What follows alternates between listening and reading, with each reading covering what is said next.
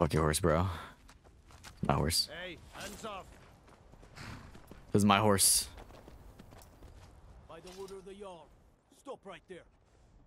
Oh, you don't even want to charge me for this? Fuck your city.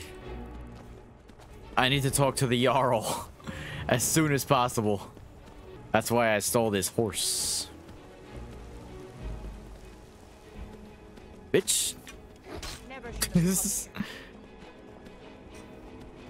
I'm a law-abiding criminal. Can my horse die? Probably. The bitch is trying to shoot me. I have important news for the king.